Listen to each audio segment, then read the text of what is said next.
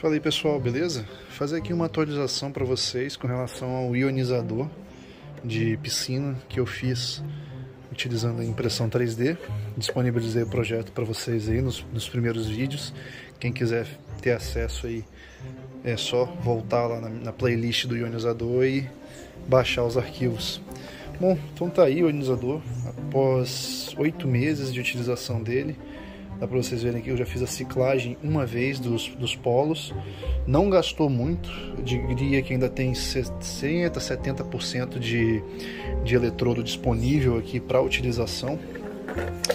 É, só que eu tive o seguinte problema, com o passar do tempo, é, a impressão 3D, né, o PLA no caso aqui que eu usei PLA, ela cedeu a, temperatura do sol, né? E eu precisei trocar essa tampa aqui duas vezes. Troquei uma vez e essa daqui já precisaria ser trocada novamente, ó.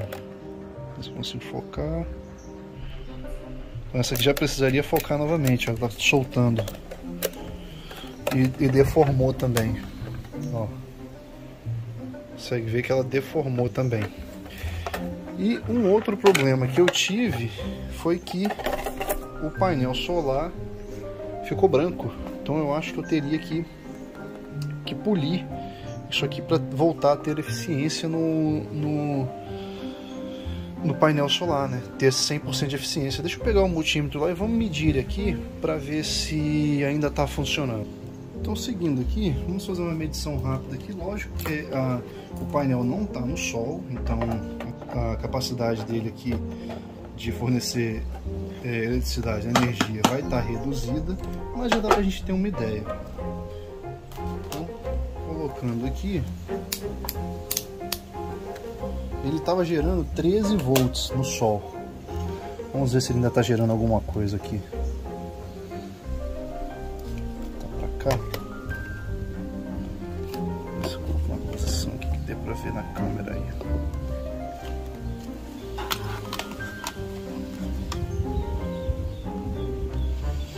Então vamos lá, vamos medir e... Ó, ele ainda está funcionando. Está gerando 11.8, ou seja, isso porque está na sombra, né? Se ele tivesse no sol, ele já estaria mostrando aqui provavelmente seus 13,5, 14 volts, que era o que ele estava gerando quando ele estava na, lá no, na piscina. Então dá para ver aí que apesar do painel solar tá todo esbranquiçado, ele continua gerando energia talvez não na, na, na, capacidade total, mas ainda continua funcionando. Então nós conseguimos, conseguimos ver aqui também que dentro dele lá ó, teve uma, um curto. Por quê? Qual, qual foi o maior problema que eu tive com esse painel solar, com esse ionizador? Olha lá, como é que ele deu curto aqui no parafuso. Qual foi o maior problema que eu tive com esse ionizador? Ele começou a entrar água, ele começou a entrar água com uma frequência muito grande até que chegou num ponto que de um dia para o outro ele aparecia no fundo da piscina. E aí eu decidi tirar ele hoje. Então por que, que ele começou a entrar água? Por causa disso. O material em contato com a água, esse PLA, dizem que ele é biodegradável, né? Então eu acredito que esse contato com a água, do PLA em, contato com a água, começou a deteriorar ele e ó, ele trincou. Trincou todinho. Por baixo aqui eu já tinha isolado ele mais uma vez com silicone. Havia isolado o interior dele todinho com silicone, ele continuava entrando água. Aí depois eu fui ver, é porque ele rachou todinho aqui na lateral.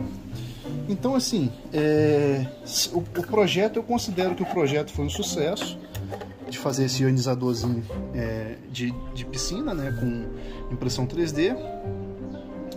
Então eu considero que o projeto do ionizador foi um sucesso, é, ele funcionou muito bem, inclusive até agora, olha como é que a piscina, essa piscina está limpa desse jeito por causa do ionizador, porque eu não uso cloro, não uso nada nela, nela mais, apenas é, esse ionizador.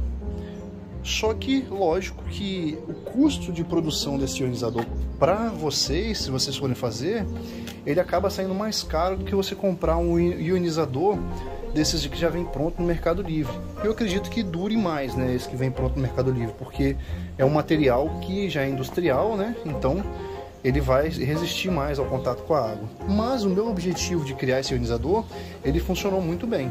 Atendeu às minhas expectativas, manteve minha piscina limpa e na ocasião, para mim, o custo foi bem baixo, né? O meu custo de produção desse ionizador acho que foi 200 reais total, contando a placa, conector, os eletrodos, parafuso e tudo que eu utilizei, e o material do PLA.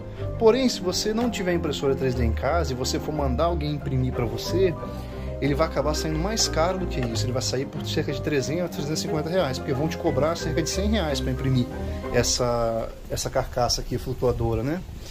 Então, se você não tem impressão 3D, eu acho que não compensa, porque como vocês podem ver, a cada oito meses vocês teriam que trocar, oito meses ou um ano, tem que olhar direitinho no vídeo passado, entre oito meses e um ano vocês teriam que trocar todo, todo o sistema, trocar todo o flutuador, imprimir novamente outro flutuador, né, para manter o sistema funcionando. Eu não vou fazer isso, eu vou, eu optei por agora, já que ele não vai mais flutuar, eu não vou imprimir novamente, o que eu vou fazer é comprar um já industrializado. Lembrando que esse que você compra no Mercado Livre ele tem metade da capacidade, tá? Então provável que você tenha que comprar dois, porque os que vendem no Mercado Livre, a placa solar é só metade do tamanho. Então, lógico, obviamente, a capacidade de ionização da água dele vai ser reduzida pela metade também. Então fica a critério de vocês decidir se vocês preferem é, fazer com impressão 3D e aí poupar cerca de 50% do valor ou comprar e ter uma, uma durabilidade maior no, no, no, ionizador, né? Que eu acredito que esse que você compra já pronto, industrializado, ele deva durar é, mais de que uns dois, três anos, né? Bom, eu acredito, ainda não tive é, a experiência prática comprando um para ver. Eu vou fazer agora, vou comprar agora. Mas esse aqui é o fim do projeto do ionizador. É, durou esse tempo aí que eu falei com vocês. Funcionou muito bem, como vocês podem ver. A única coisa que eu fazia era, uma vez por mês, eu colocava 10% da quantidade que eu precisava do cloro normalmente, apenas uma vez por mês, para as bordas dela não ficar verde, que as bordas, onde a água bate e sai, bate e sai, às vezes ficava um pouquinho verde. Aí eu botava 10% só da quantidade de cloro que eu normalmente colocava antes do ionizador, e isso já resolvia o problema da borda verde. Nesse momento agora eu vou voltar a usar o cloro até que o novo ionizador chegue e aí eu elimino o cloro novamente. Isso aí, pessoal, se vocês ainda tiverem interesse de fazer esse projeto, é só vocês entrarem na playlist que eu tenho no meu canal aí do ionizador, buscar na descrição dos vídeos que vocês vão encontrar os arquivos para fazer o download desse, desse ionizador, dessa carcaça flutuante, né? E juntamente com o material necessário para você fazer a construção dele. Como eu falei, uma construção dessa vai te poupar aí talvez 50% de, do que você comprar um ionizador desse na, no Mercado Livre. Entretanto, ele tem essa durabilidade reduzida de 8 meses a um ano, beleza? Obrigado aí por quem acompanhou até agora. Se vocês curtiram, não, de, não se esqueçam de deixar aí um like uma curtida né, no, no, vídeo. Deixe o seu comentário aqui abaixo se você executou esse projeto e se você executou, se os resultados que você teve foram parecidos com esses que eu tive.